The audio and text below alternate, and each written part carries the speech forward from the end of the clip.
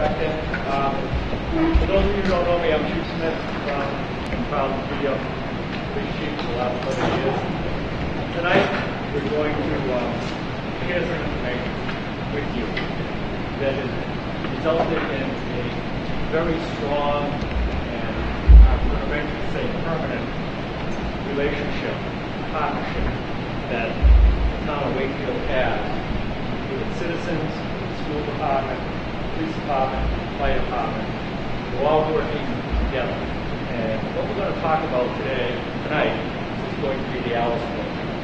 And our speakers throughout the night will explain and walk everybody through um, what Alice is all about, what it stands for, how it came to be. But I can tell you this, the last year, maybe a little bit longer, the department, Dr. Zrike, police department, have sat down and thought about, worked it out, what we think is best. And it's proven, it's proven nationally, it's accepted by, uh, in fact, encouraged by the governor of our state. This is the best way we collectively, we, the town of Wakefield, can protect your children in the event that bad things happen, in the event that we have an accident. Nobody knows when that's going to happen. Nobody knows where it's going to happen. But the fact of life, we all know, that it does happen. And we want to be in front of it. And we are in front of it. There are many towns across the country that use Alice, but not all of them do. We're on the leading edge. So it's our hope that you'll pay attention tonight when you're in school. But listen to our presenters, take notes, and at the end, really encourage you to ask questions. Then when you go home, we also encourage you to talk to your neighbors, your friends, family, relatives about Alice, because you're going to see that um, what's presented tonight is cutting edge material, cutting edge technology. What we did in the past the philosophies of the past, that's old technology. We found out a better way to do it, a smarter way to do it, and we think it's going to be a safer way to do it. The goal being to protect your children when they're here. And by the way, people always ask us, are the schools safe? Safest place in America to be during the day, right here in school. And that's a fact. The safest place for your children to be safer than home in many, in many cases, right here in the school facility. So keep that in mind as, as, um, as our presenters go through the um, presentation tonight. With us tonight, to take over for me, to bail me out like he promised he would, Dr. Zrike, our superintendent.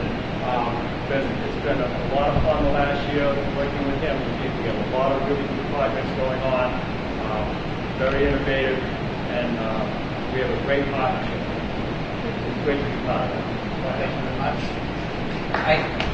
Good evening, everyone. I just kind of want to see how this microphone works, I'm going to use the microphone. Um, I did try to be a little more like uh, Chief Smith when I shaved my head a few weeks ago, but I, I couldn't pass it off as, as uh, not quite as distinguished as he is. So um, uh, it's great to see so many of you here tonight. Uh, we are filming this tonight, so if there's uh, people that uh, could not be here and want to share it with them, we'll have the video available for people to see. Um, before I just make a few comments, I do want to just introduce some people that are here um, from the schools. I, we have two school committee members here. Uh, the chairperson of the school committee, Chris Callanan, is here, and uh, Kate Morgan, who's on the school committee as well. And I thank them for their support.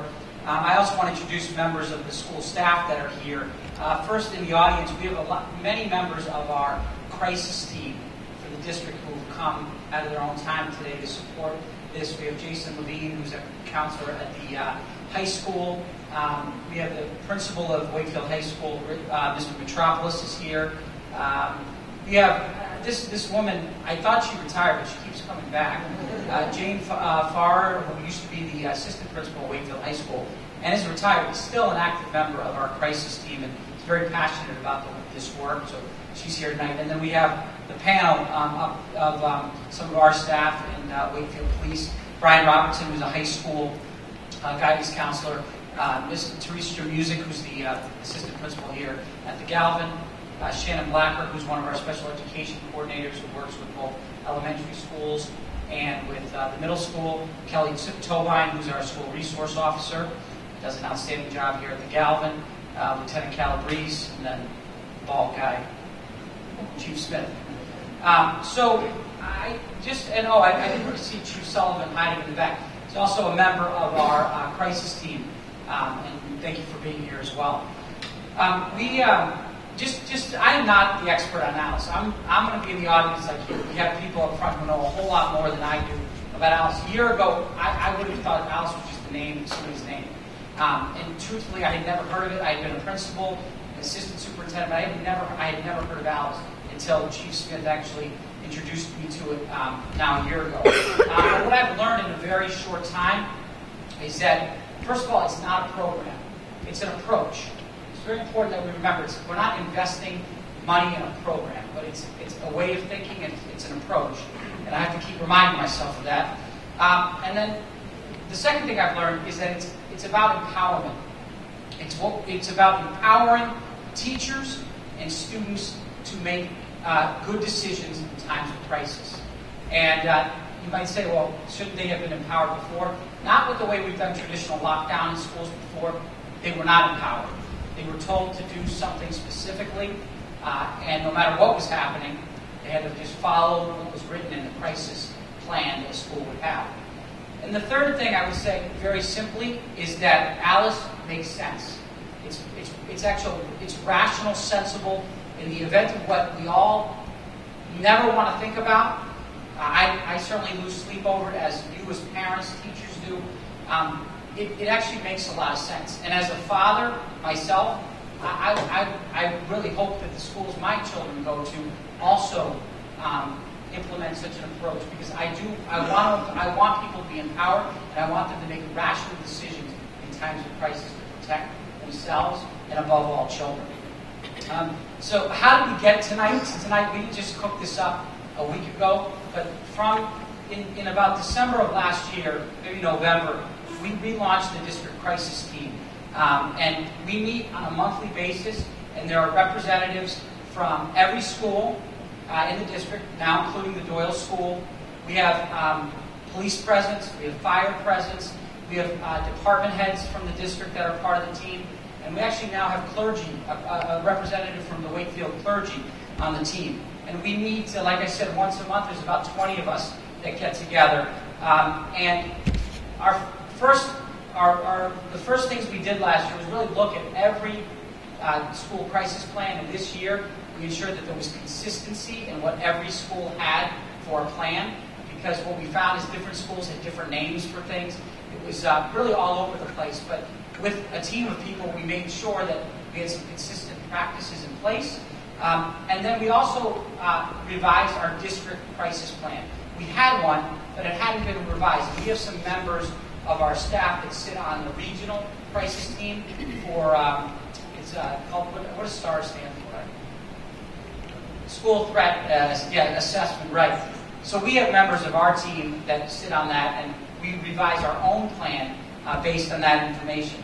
And as part of that work, uh, we discussed that our lockdown procedures were really inappropriate and outdated, given what we had learned from um, critical incidents that, you know, uh, in schools, and, and not just uh, um, uh, K-12 schools, but colleges and other uh, incidents across the uh, country. And the Wakefield Police shared with us um, that many local communities were introducing Alice. The governor's recent report also recommended that Alice be approached approach that schools look into. And from that, this past spring, we sent uh, three people from the school district, the three that are sitting at the end there, to be trained in VR um, in-district trainers. Um, and then we also, uh, the Wakefield Police sent members of their force to be trained in Alice. Um, and at the beginning of the school year, we introduced it to all our staff.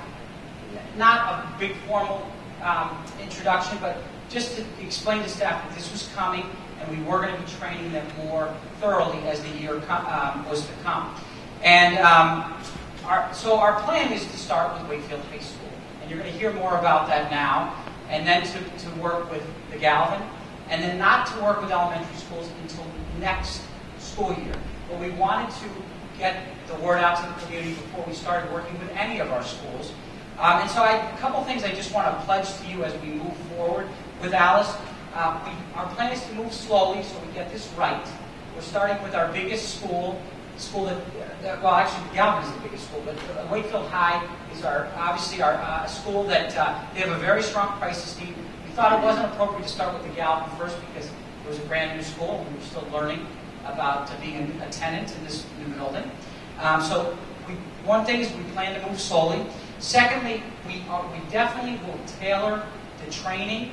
The training for staff is the same, but the, the messaging to students changes depending on the age level. I think really have to be what we would work with, what we communicate to high schoolers is not what we communicate to preschoolers or elementary school students. So I just want to be clear about that. Um, and that we plan to communicate with families in advance of any practices or trainings that are going to occur in schools. So just because we have tonight doesn't mean we won't be communicating with you in the future.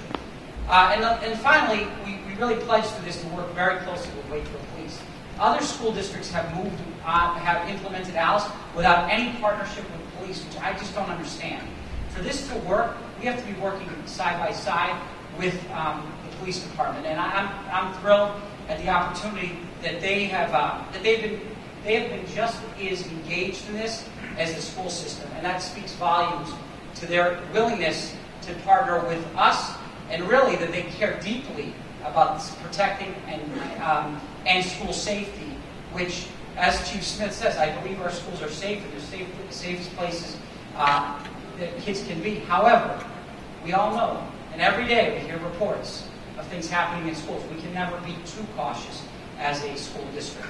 So with that, I turn it over to Lieutenant Calabrese, who has been the point person working with us on implementing ALICE in our schools.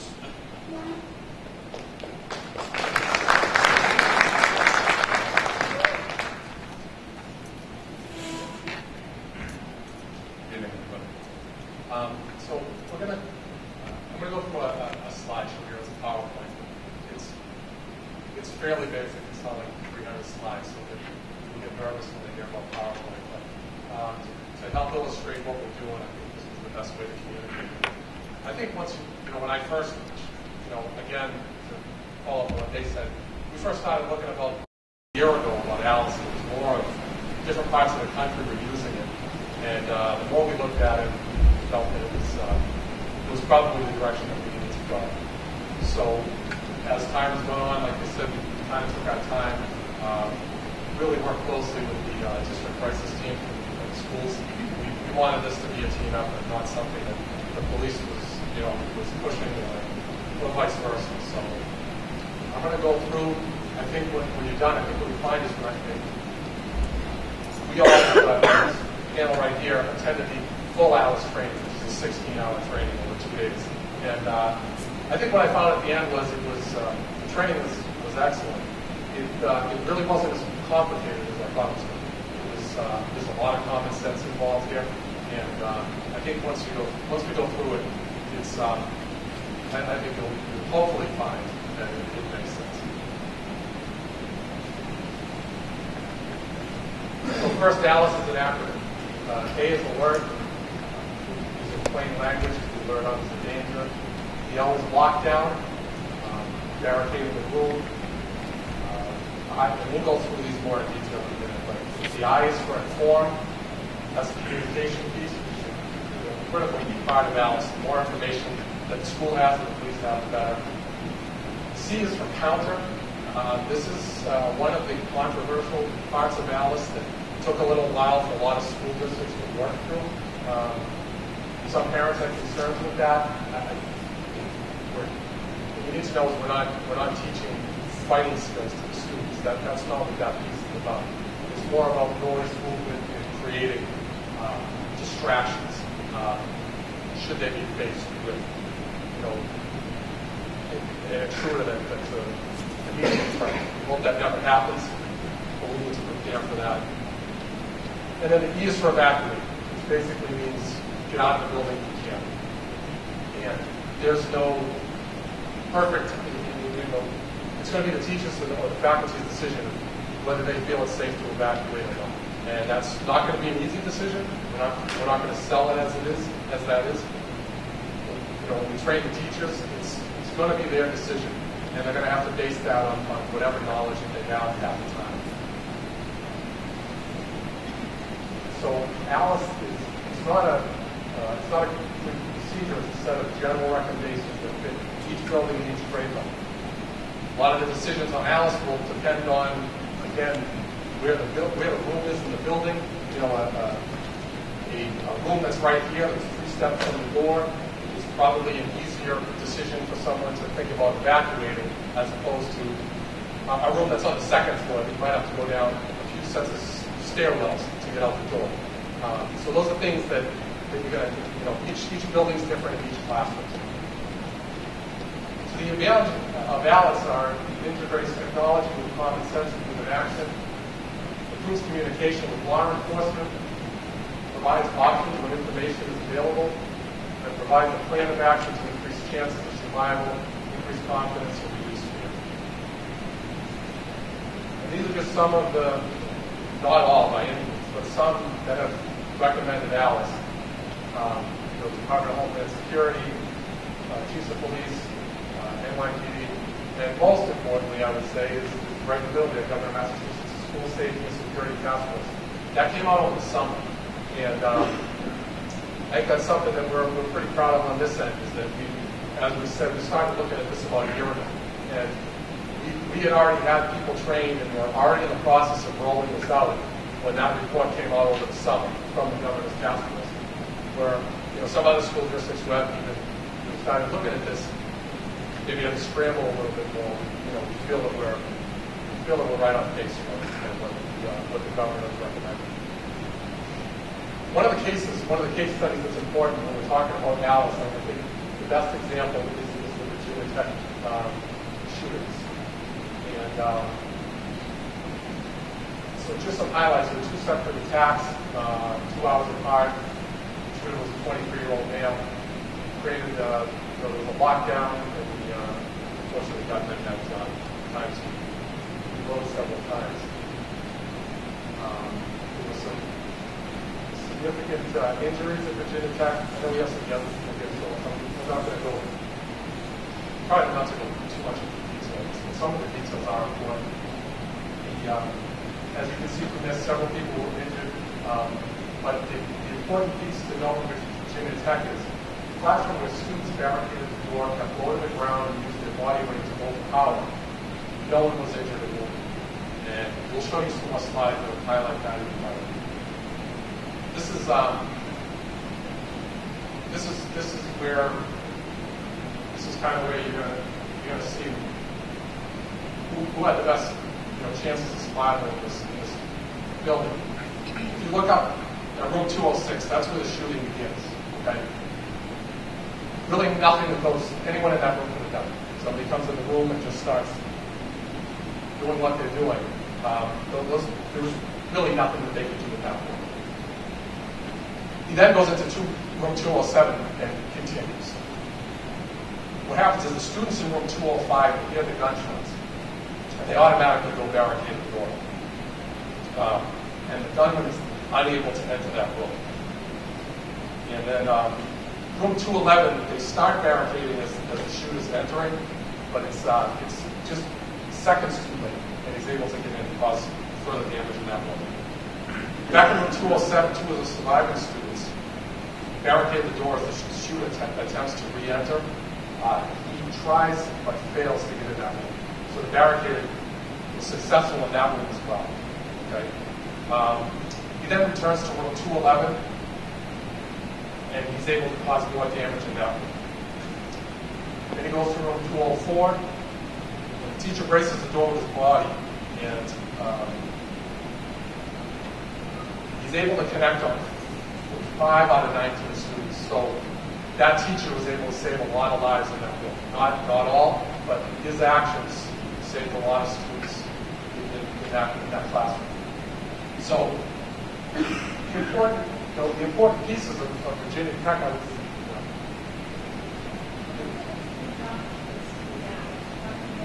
Okay, some of the, the, um, the room where, the room where the teacher um, barricaded the door, some of the students were, um, were jumping out of the window. So they were able to, um, they were able to get up. So you have some, you know, there's barricading going on, and then you have one or two of the students were actually getting out the windows. Um, obviously, five-story building, that's probably not going to work, but if you're on a first floor or maybe even a second floor, that, that saved lives. So the, the main points of Virginia Tech, I would say are two things. Number one, the rules where there was either active barricading or actively trying to get out had the least amount of casualties. The second piece one would be, if you see the room where they attempted to shut, barricade the door, they were a couple seconds too late, and that, that this individual was able to get into that room, it means that, that time matters. So, in the sense of, well, you know, couldn't we just change, you know, train our teachers and not, not involve, really have to involve the students in, in some of this stuff? I, I I would say it's paramount that we do, because just the more help that, that some, some teacher who's trying to, you know, push a table and then push chairs and desks and all that stuff by themselves is going to take significantly longer than if they have help. Okay?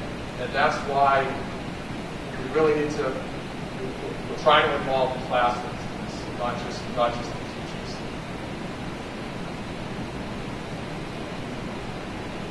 About active shootings, if they, if they are determined they're moving in the building, passive and static targets become easy victims and compliance dangerous. Trying to get away from people just kind of huddling in a corner.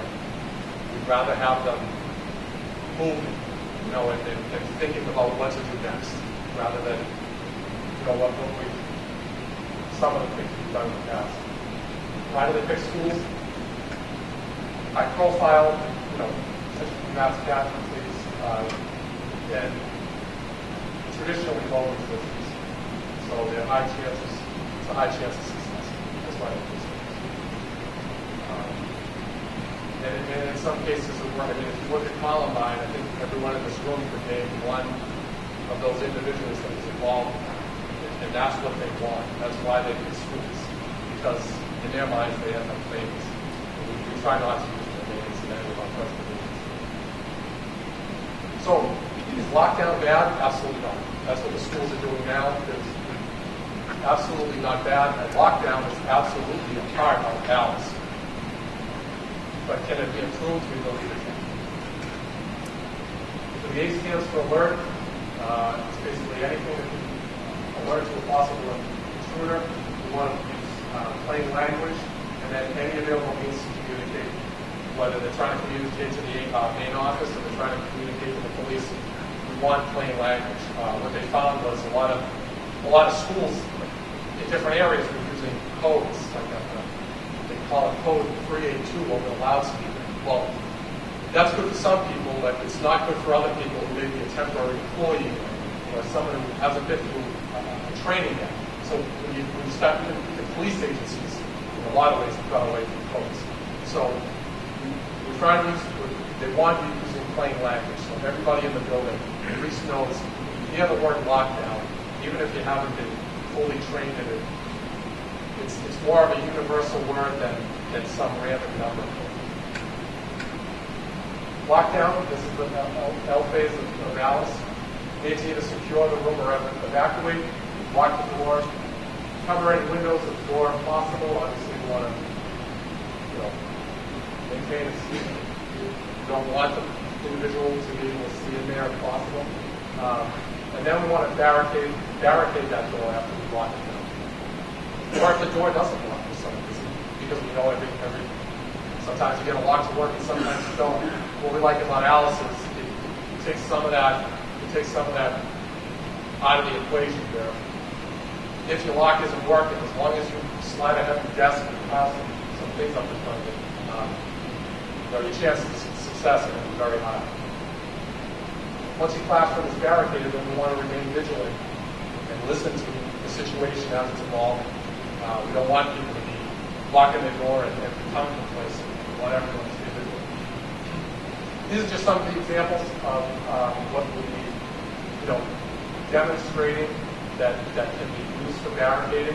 And, and it's, it's really simple stuff, door wedges that, that can go under a door. And then you can see after that, you can kind of evolve to desks, tables, whatever is in the room to, delay or completely prevent entry.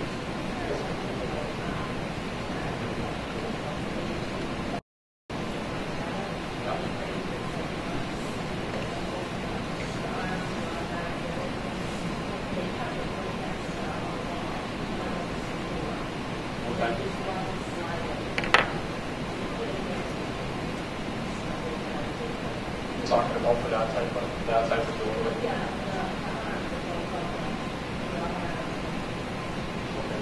Yeah, looking into that, but there's, all different types of gadgets that, that can be used for that type of, um, you know, for that type of door. We actually show the staff, um,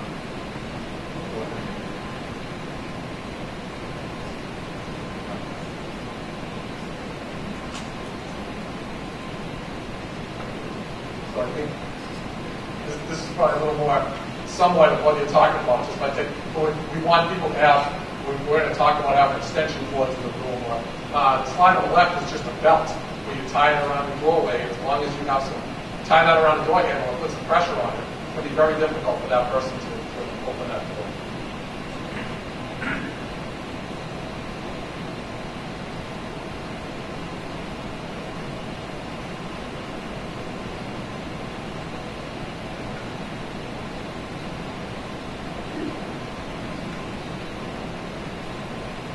kind of already talked about it before. So now, now we get into the counter phase. Um, we, as Dr. Zrike said, we're still working on uh, the, the plan for the, the grades, uh, kindergarten through four. They're, they're going to get a different, you know, they're going to get a different uh, training than, than what the higher grades are going to get. But the, the counter piece, again, this is the piece that's been a little bit controversial. We, we wouldn't be teaching this to grades K through four. Um, this is only be used when confronted by the intruder after being in lockdown. Use of simple proactive techniques to be confronted by the active intruder. Anything can be a weapon. Staplers, books, chairs. But throw things uh, at the uh, at the intruder to disrupt their aim. Create as much noise as possible. If you have to, you would, have to go with that person.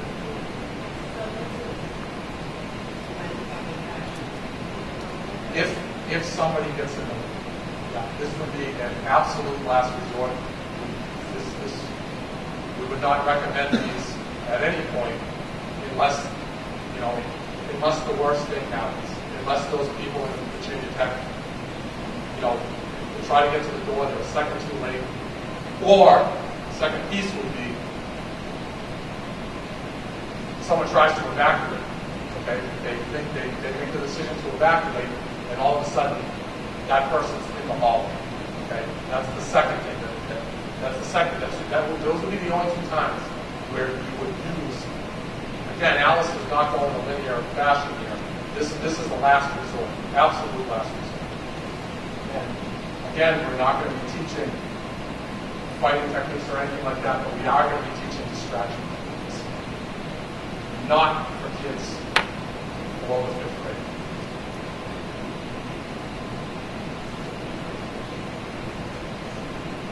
So these are just some of the things that we're going to talk about when we're talking about this conference. Any of this stuff. You can throw a, a stapler, an iPhone, a, staple, books, anything that you can readily pick up um, that, that can cause a distraction. When you have somebody, when you have static targets, it's very easy for the intruder. Okay? And, and we're trying to get away from that. You, don't want people, you don't want people staying in one place. We need, the more chaos that is, is this person is faced with, faced with, the less chances of success that they're going to have. That's that's that's a fact. Um, that's that's that's more what we're going to be teaching. So if if then we get to the, the last part of Alice's, we get to the evacuation piece. Um, only 2% of the uh, violent intruder events have been by more than one person. That's something that we're going to stress to the faculty when they're trying to make these decisions about whether, do I, do I leave, do I stay? Um, They have to keep in mind, we can't guarantee that there are three other people in the building, do have to, we do have to present the data that's out there. The data says that it's 98% chance that there's going to be one individual. So that's something that they need to think about when they're trying to make, unfortunately, hopefully never have to make these decisions. But,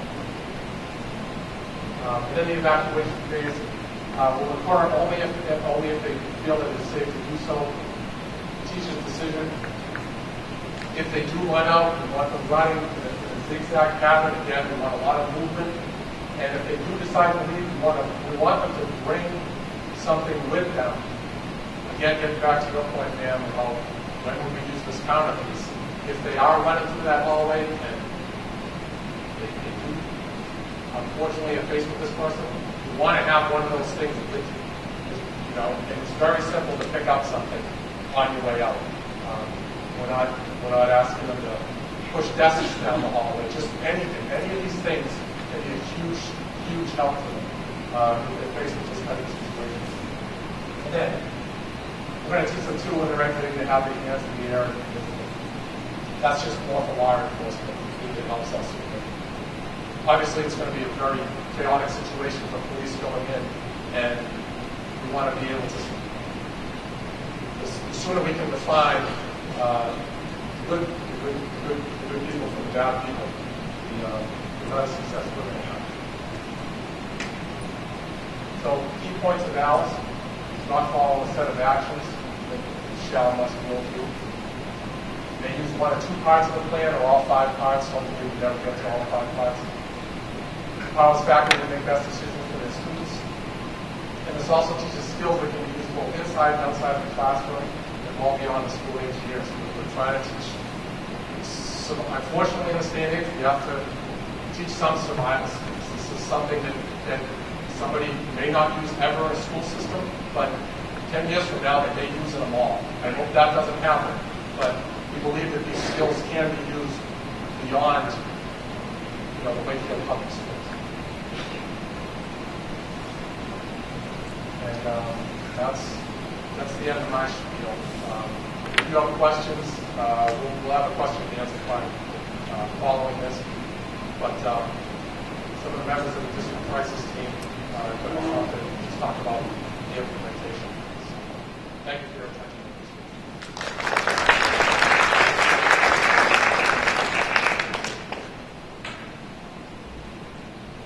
Okay, so what we have done as a school district um, to prepare for Alice, um, as Dr. Zrike said, we talked about the implementation at district and building crisis teams um, last year. In May, um, Janet and Brian and I uh, went to the training. There were several communities um, at the training. We were the only community where both the police and the school departments were represented. And I think that speaks to the relationship that we have with the police department that I think over the past six, how long have you been here, chief? 11, I'd say the past 11. I- I'd say over the past six to eight years, really, our relationship has really strengthened with the police department. And so, and I think having both of us at that training um, really was terrific. Um, So we attended the 16-hour training. It was simulated training. Um, We had to do lockdowns. In the first lockdown, we could not do anything except shut the door, shut off the lights, and hide under the desks, and listen to this gunman who had, had like a pellet gun, a simulated thing, coming down the hall and shoot, shooting. And to hear him coming and be hunched under a table in the dark was pretty scary. And he came in the room and it was like, oh my God, here he is. And he came in and he shot the woman next to me. You know, so to, I would never want to have students experience that kind of fear that even though I knew it was a simulation, it was pretty scary. So um, the training was terrific in terms of that for us. So, um, we've had follow-up meetings with our faculty, with the administration, with the police department uh, during this past summer um, to plan for this implementation. Um, we are very excited that um, you're going to be able to participate, so.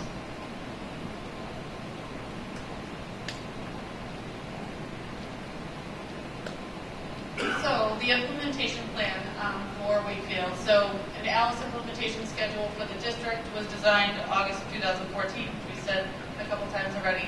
The high school is going to complete the implementation by the end of 2014, so the end of January. Um, And the middle school by the end of the 2014-2015 school year. And the elementary schools are scheduled to implement the Alice starting next year, 2015, 2016 school year.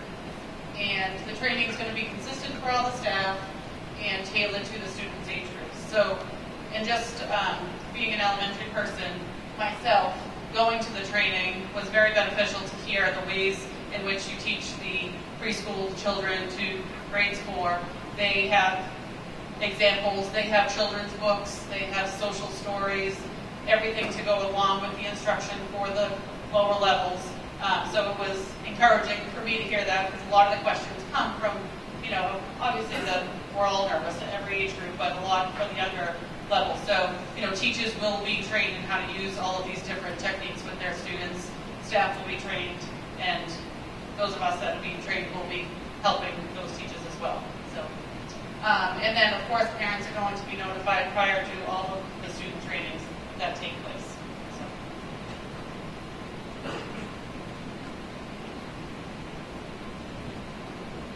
Thank you. Thank you. Um, so, what I just an impressions in attending the six-hour train, 16-hour training. Uh, attending the training kind of looked at it through the lens of a high school guidance counselor, uh, a member of our crisis team, educator, but also through the lens that I have um, two young children. Um, as probably many of you have um, one at the Woodville School, one soon to be at the Woodville School.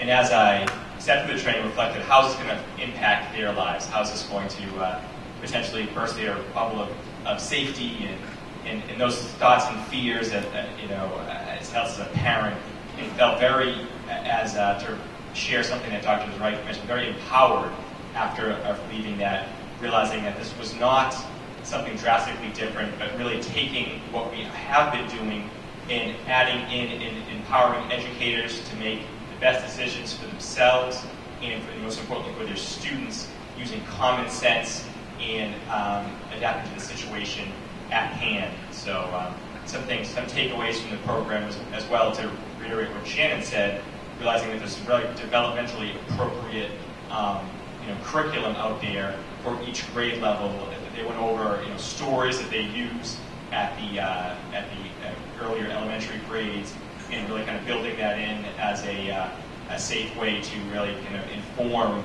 um, our, our youngest students uh, you know, ways that they can look after themselves um, during uh, you know, difficult, potentially difficult time. But my part here is to talk a little bit about what we're doing here at Wakefield Memorial High, uh, Wakefield Memorial High School over the next few months to implement ALICE. Um, the first day of school at all school buildings, faculty and staff across the district were informed of the decisions to implement ALICE. Um, I think at the high school, to, uh, in large part to um, our co-chair of our crisis team, Jason Levine, who's a member of the NEMLEC STARS team, the regional STARS team was mentioned. We've been talking about this through our crisis team all through last year, so ALICE wasn't going to be foreign concept. It was something that we had thought about and talked about and done some, you know, some research on in our own. Um, at our opening faculty meeting at Wakefield High School, our new principal, Rich Metropolis, who we're very lucky to have for many reasons, one of which is he has already been trained in ALICE and is very knowledgeable. He kind of led us, our, our faculty, in some initial um, information, kind of set the stage for what is to come. Um, at the end of September, when we have, um, every September we practice lockdowns with our students. Um, we did a, uh, you know, identify the practice of barricading, which is one piece of ALICE, using the data, the research we've seen from Virginia Tech in other um, situations to realize that just locking the door and going to a side spot sometimes isn't enough. Using what is in the classroom to, um, to barricade your classroom. As part of the exercises we did during our training, we realized barricading can be done in a matter of, of seconds, not minutes, um, to really secure that classroom and ensure that when someone comes to that door, that they're not going to be able to get in um, very quickly, and odds are going to move on to another spot if they have um, um, difficulty. So it is amazing as an educator to realize each and every year how adaptive our students are. Our students took to um, the barricading extremely uh, easily. I would say that um, as a member of the crisis team who went around and was checking rooms after we did this, they, uh, the rooms were extremely well barricaded um, in a very, very short amount of time. Uh, our students are, um, I think, almost in some ways already there, probably even ahead of you know, some of the teachers and adults in, in, in shifting our thinking and realizing this makes sense. It's common sense that you are going to take these steps to ensure, ensure your safety if you're ever in harm's way. So that was an extremely successful um, exercise that we had taken two weeks ago. Just this past Monday, um, the Wakefield Police Department um, took us through uh, a similar pre- uh, slide presentation that we're seeing today, followed up by a lot of active kind of Q&A from our teachers who raised some great points, um, and uh, you know something we're information we're going to incorporate into a training for our entire student body that's going to take place for the end of this calendar year. We're going to go through some you know appropriate exercises on Alice. Two parts I just highlight as an educator at the high school that I found has been such a value add um, from the ALICE program. One, the informed piece, just as, as an example from our existing lockdown models, if there ever was a, a lockdown call, we would call a, call it a code red in the building. Um, but then that would be it. And, and it lead people to you know, wonder what's kind of going on as they're sitting, sitting and waiting um, before the end of this exercise. Now there's a, a huge push um, backed by data, um, which makes complete, I think, common sense to really inform and use plain language and give the most up-to-date language, um, i.e., if an intruder entered the building, the best practice now is to say there's a lockdown and there's an active shooter in the main hallway at the high school. That might give 30% of our building, which is downstairs on the first floor, away to get out of the building. And um, you know, one of the things that initially me is this counter piece, and as I reflected on it and realized Alice actually is, de- is deterring counter or those opportunities because students are going to be leaving, leaving the building out of harm's, harm's way. Um, we have a number of students that you know congregate in our cafeteria during lunch and also during we have in our academic support centers. And those students see just there's five benches here. I'm not going to be sitting around waiting. I'm, I'm, I'm heading out and, and getting out as they should. Safety, I think, is just paramount um, as the kind of principle in, in Alice. Before, I thought there was also a piece of structure and staying accountable together, but now you know, making those best um, common sense decisions to uh, to make sure that you're uh, you stay safe, which is, makes a, a lot of sense. Um, so these are the things we're doing at the high school. Um, we're really excited to undergo this, uh, you know, uh, this process and, and well underway, and look forward to you know taking the data. Working with not only members of our um, our crisis team, also community members. Uh, highlight uh, Brian Garside, a, a uh, school counselor at the Lincoln Public Schools, elementary schools, who came on early early on, who's been through the Alice training and kind of sharing best practices, what they're doing in their district, and getting that information so as we kind of roll this out that we have the best uh, knowledge and best information to present to our students. So with that, I think uh, we're going to go to a question and answer uh, session. So uh, thank you for your attention.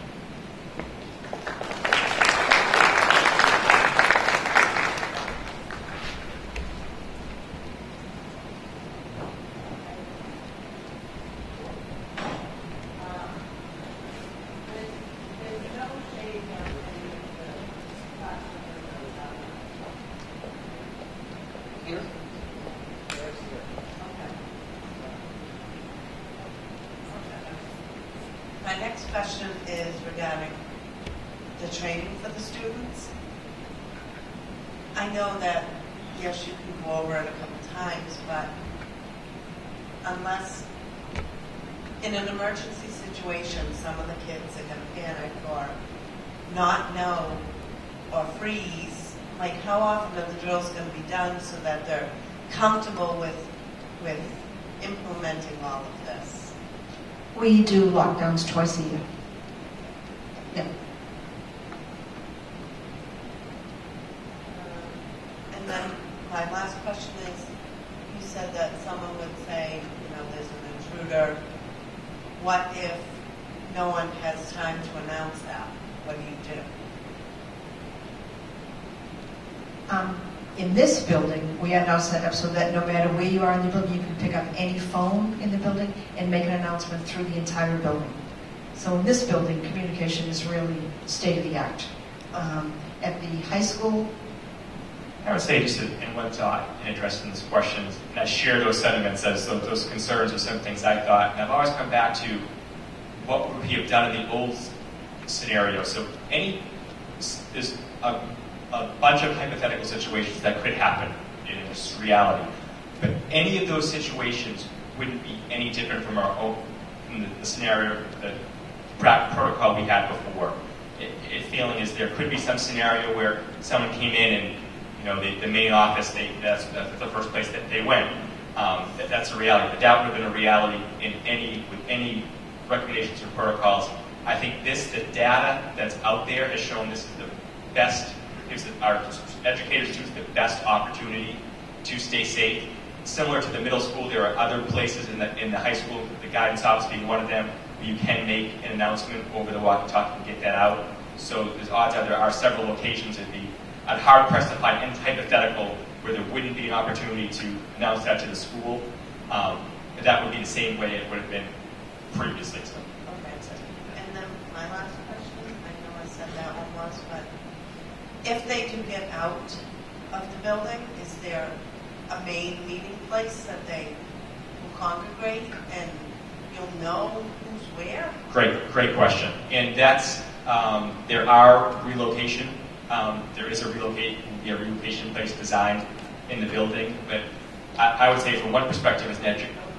Outside the building, yes. I'm sorry. Outside, the, outside, far away from the building, there is relocation, you know, uh, spots to uh, to go to. Yes. And one thing I just think I, as a reflecting on Alice, that really uh, appreciate about this program is the first and foremost thing is everyone being safe. Uh, I think anecdotally in other incidents, they were looking for students and accounting for them for hours around. But the most important thing is they were safe. They might not have been at the relocation spot, but they were at their house or they were out of the out of the building.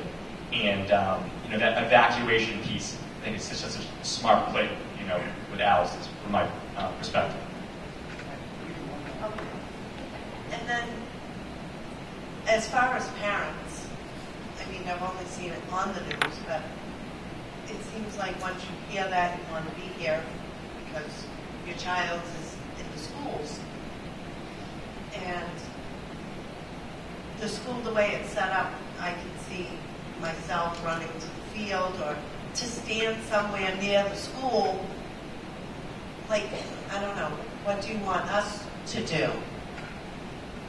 I think probably if we had an incident, you probably wouldn't be getting very close to us because there's so, be so many police. We actually have sketched out at our um, evacuation sites.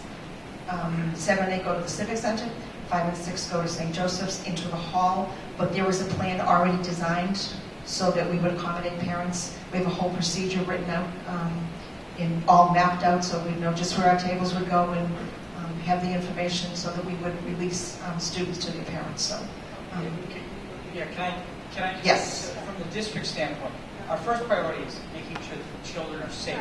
So all our attention has to go first in, in, in uh, making sure that, I- certainly correctly law enforcement if I've got this wrong, but that's our perspective. As soon as we are able, then we will begin to send messages out to, to the community. But when, when there's an incident, even when we have small things that happen, our first attention has to be on ensuring that our students and staff are safe, safe and are, like today we had to evacuate a building because was smoke at the Dolbeare today. The first thing we do is make sure that the kids were evacuated and then once they were back in the building, then we notified, we did notify parents as soon as we knew everything was um, secure. So uh, obviously people want information and in in time of crisis, thankfully I've never been through a uh, serious crisis, but our, what our training is, is about ensuring that uh, support the needs of our, our staff students first, and then we communicate out to the public. So, uh, other questions? Okay, we'll comment here, sure.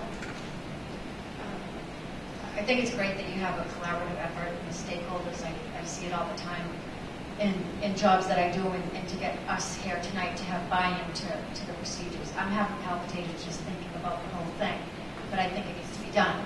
Um, so my props to you, and that's great. My comment is, um, you would be amazed. I, I have a job in which I go into the schools a lot, um, and then it's really tight after something happens, getting through the door.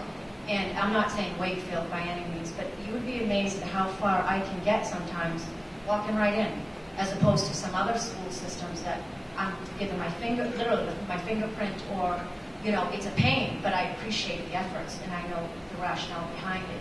So my comment would just be, moving forward when you have the, the crisis plan in place and Alice is to, to never let go of that. And as you mentioned when they're going to get in, they're going to get in, God forbid. But that you don't um, loosen the reins at that door or any door. Um, and this is what I'm amazed to still see in some of the schools that I go in.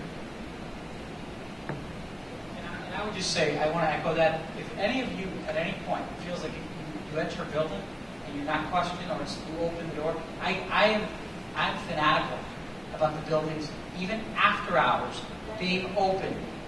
Part of it is my experience as an urban principal, but I, we get very lackadaisical, particularly after, after, in- you know, we tighten up after an incident. We did last year after Danvers happened. But then we get very relaxed, and then I start seeing doors propped again. And then, you know, and people get frustrated. I have to say, I've encountered a lot of angry people who can't get into buildings late, later in the evening. I, I think we have to do whatever we can to secure our facilities. And as consumers, if you ha- if something, if you enter a building at any time, feel free to send me an email. I won't be offended. Okay, it's about we, we, we have to get better at this, and it just becomes human nature that we get lax over time. So thank you for pointing that out. There's a question back here.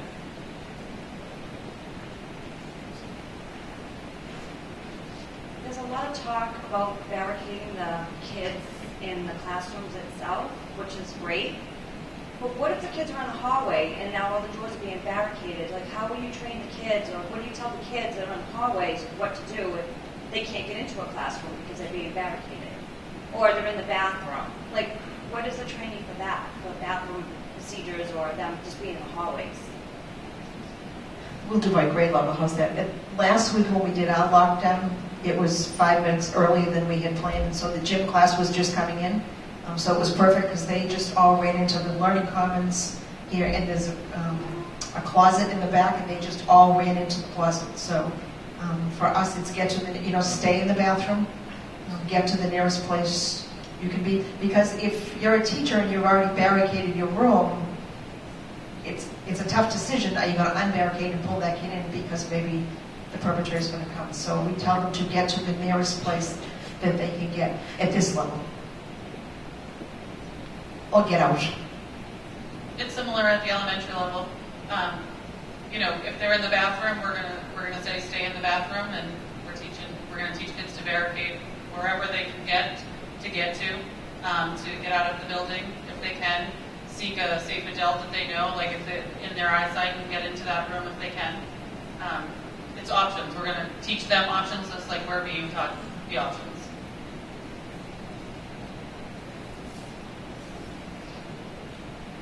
Any other questions? Questions? Are there any suggestions for kids who might have special medical needs? Like my daughter's a diabetic. Should she have supplies with her at all times? Does, does it last a long time generally? And just, is there any advice about that? I defer, you know, to the lieutenant also um, speak, but the data on most of these incidents is that the police are going to be here in the blink of an eye. Within two minutes, you know, law enforcement is going to be is going to be here. Um, these incidents do not last, you know, a lengthy time. So don't don't envision of your or daughter being barricaded for hours upon hours upon hours. I don't think that's a, a realistic scenario. So something that probably we don't have to worry about. We do take supplies if we, eva- when we practice our evacuation, we go over to St. Joseph's and the Civic Center, you'll see us with our rolling suitcases, and we do have sugar and snacks in those suitcases so that, and one year we did have to evacuate for a pipe bomb or something and not that, and we sent someone to 7-Eleven to get something for the diabetic, so we, there's always some way to accommodate.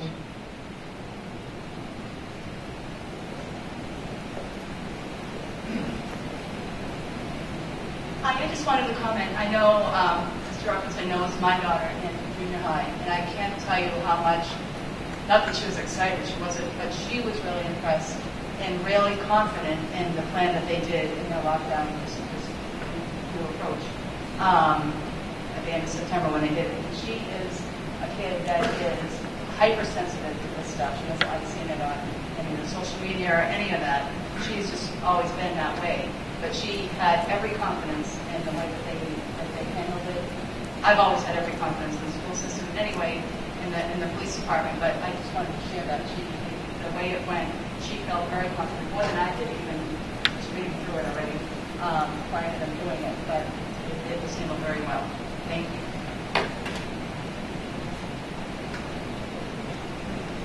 Um, Thank you very much, this is great.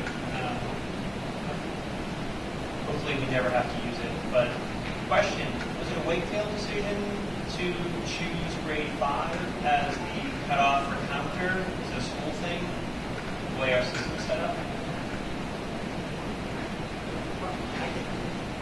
Part of it is our middle school starts in fifth grade. I, I think we didn't want to give different messages for some kids in the building, um, because our, just, if fifth grade were the elementary school, we probably would have kept fifth grade with the elementary, but we didn't want to teach different tactics to, um, you know, I, I think that would be complicated for a school to have one grade doing one, you know, one thing and another grade doing another thing. It keeps our training building. So different school districts do different approaches, but given the way we're structured as a system, it made sense to us. I don't know, Teresa. There's no perfect cutoff point. That's what I'm sorry. You'll find that fifth grade is almost their cutoff point. Some are keeping it five down, but they're all in that same school, and some aren't in fifth grade. So it's, I don't think that there's a perfect age where, you know, students are ready or not ready. You just kind of what it says. Keep it all the same, train the same, the same building, and that fifth grade seems to be that kind of, that roughly that. I will say though, because the fifth grade students do spend more time, they have two teachers that they spend uh, time with. The messaging, just like in elementary school, their relationship with their key teachers is so important, and so so much of the messaging and the uh, the support for this has to come from their teachers. And we talked a lot in our last meeting about element, we have elementary teachers representing. They they talked about how important it was for them to talk with their class because of the, the relationship that they had, instead of bringing the whole school into an auditorium, which feels less personal. Because as many of you know, with elementary school students, their their connection to school is their classroom teacher. And in fifth grade, that that as they get older, that becomes less and less because they have multiple teachers. So so much of this depends on our talented staff, and, and so that's why training for them is so important because uh, kids, the way that kids react to this is going to be dependent on how the adults around them uh, message message. Yeah, absolutely. Right.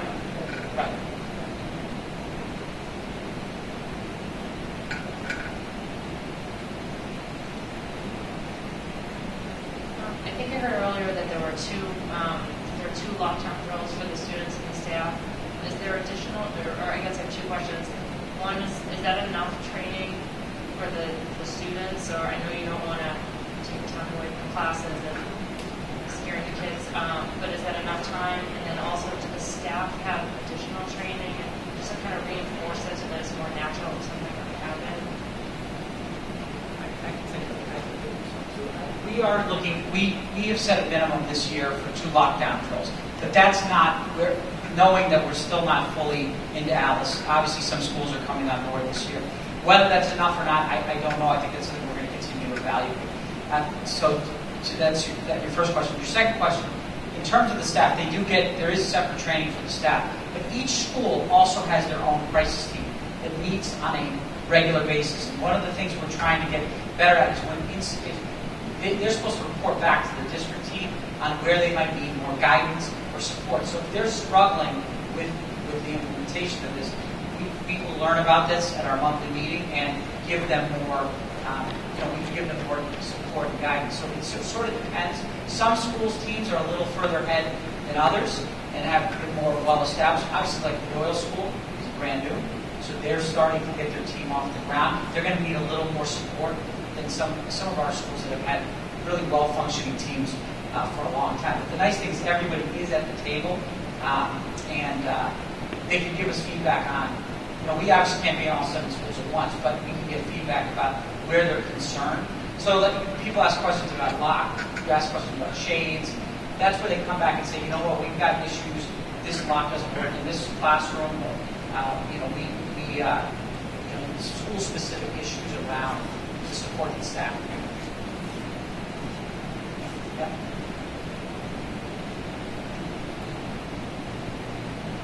Mentioned that the high school did a really good job with the barricade, and, and I trust that the middle school will do a good job.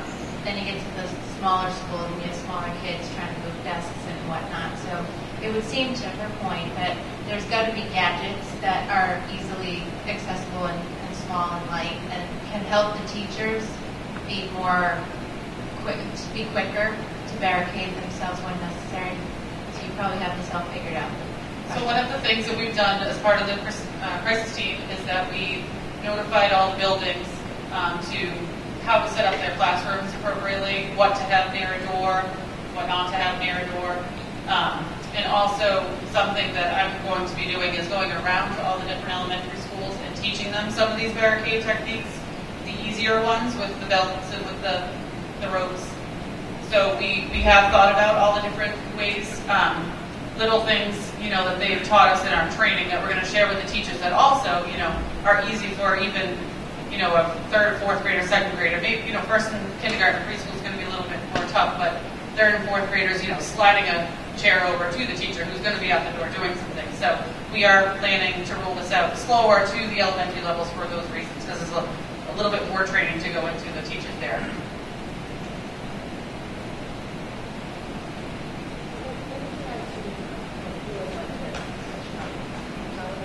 I'll defer to that group. What, would- what would you do with doors like this? You That you push out, yeah.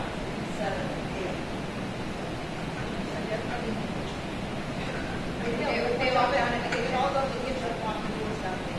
And there's ways to get out the back hallway, out from it. This is the only one that doesn't have to push out the doors, the other areas and how to say, seven. I think every class will help out.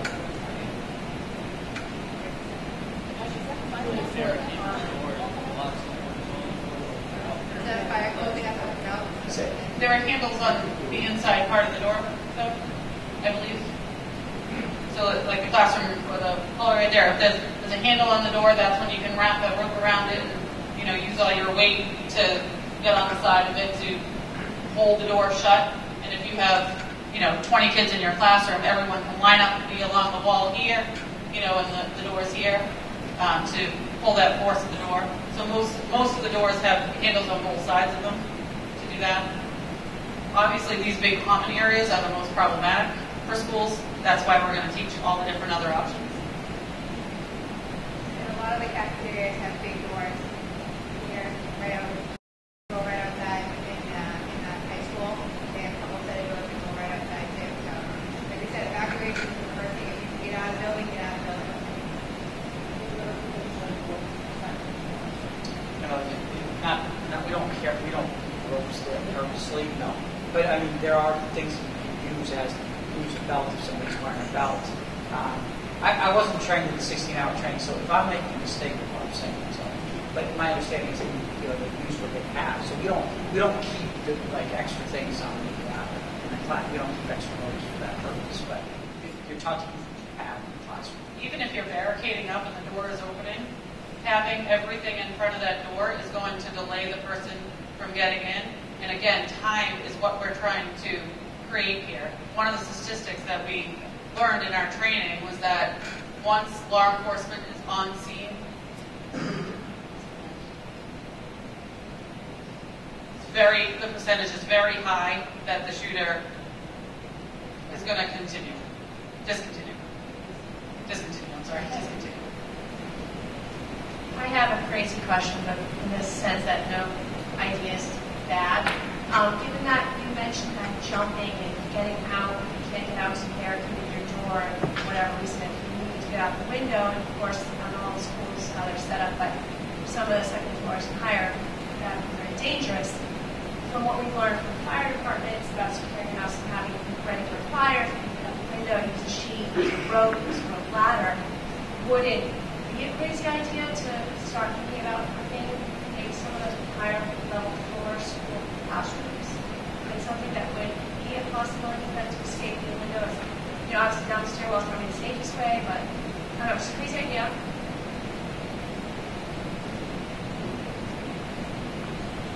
I think that, the goal, if you're on the second or third floor, we're going to focus on barricading and jumping out, jumping out windows. That could also apply to the fire, you know, if they needed to. So any of that stuff you're talking about isn't necessarily a bad idea. Um, But I don't think, if we were in the type of situation that we're talking about tonight,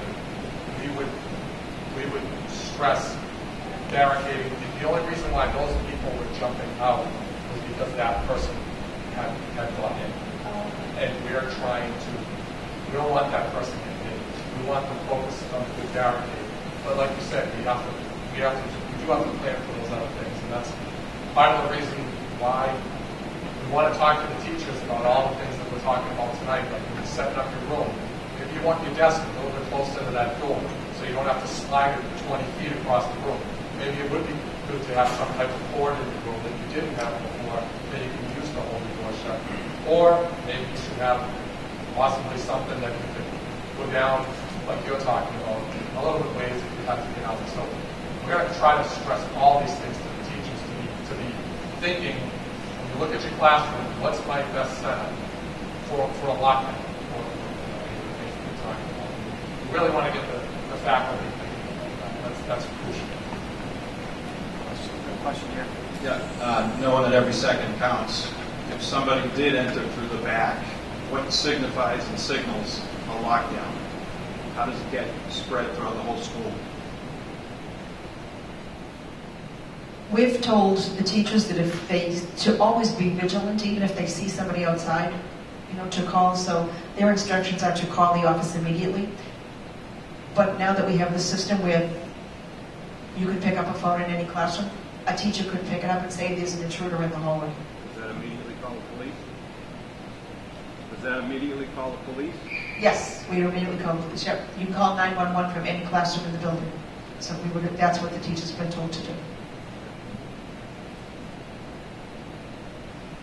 you know, also to, to reinforce that our buildings are secure um, every day, and all um, people entering the building after 7:30 have to come through the main office. You know, our, our people outside doors are instructed not to open the door for anyone they, they don't know.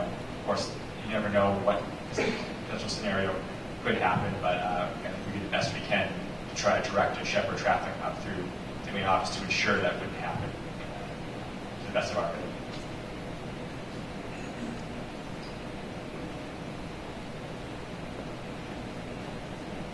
Um, I was wondering about this building. Does it have a security room or cameras? Is someone watching or? We do have cameras. We have cameras in all the hallways. We have cameras on all the doors.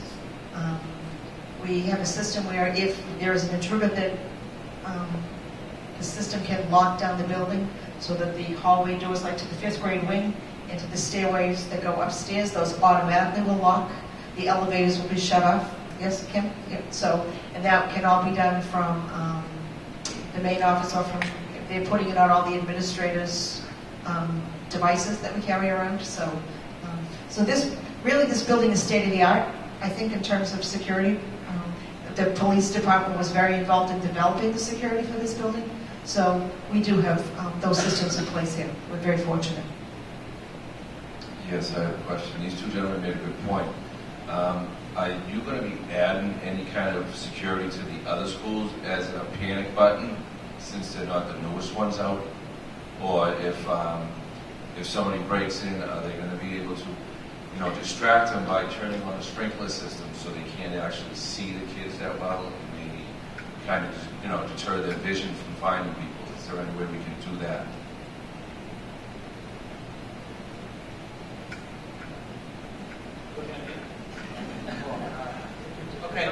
I, so I'll, mean, those are things that we talk about all the time. In conjunction with uh, the police, we, uh, the town has a, uh, has been, has supported our schools with the security bu- uh, budget every year through uh, capital. And uh, we, those are things we are talking about. Clearly, we have a state-of-the-art building here.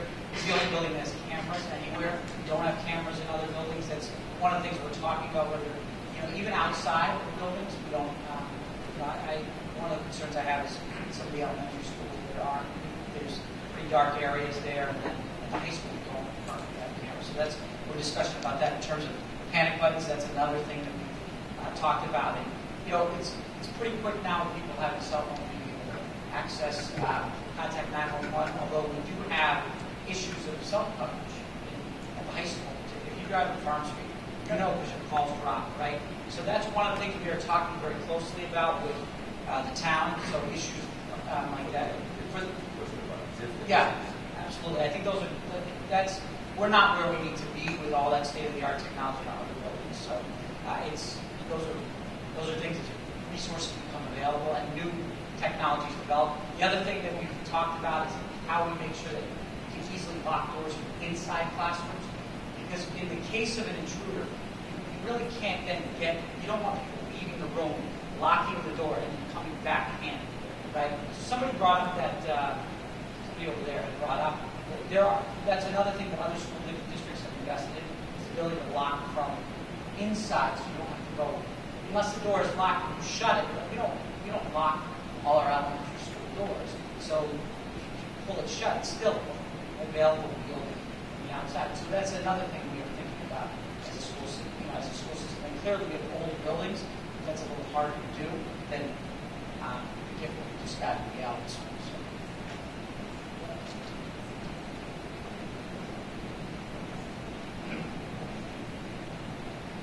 I just wanted to make a comment as uh, serving as a co-chair of the district, uh, the high school crisis team, uh, just and also on the NEMLEC Stars team. How proud I am of the district, uh, not just for our pursuit in implementing Alice, but because of how we're doing it. Many districts um, I, that I've seen have say, okay, you know, we're implementing Alice, we're all set. And what I really respect about how uh, we, have, uh, as a district, have really approached it is that it's been an active conversation the entire time, um, like that said, between the district and police and, and faculty about how to adapt it, how to make it what's needed uh, for Wakefield, not just a canned uh, program that applies to everyone, how is it specific to our buildings and to our community. We'll, uh, we can stick around if you have questions after, as long as you want. I, I would just also highlight that uh, we do have another presentation in a couple weeks on cyber safety that uh, we're putting out. Uh, we've had people, uh, we have Middlesex, the Middlesex uh, partnership with youth, which we work very closely with, are coming out to do a presentation in Wakefield about uh, cyber safety and cyberbullying. And I, I would, we will be at the Galvin, I think the first week of November, but we'll be sending out information can spread that as well. And through this process, if you have any questions, feel free to email myself, uh, the, the principals at your child's school. Can I give you your email address too? Okay.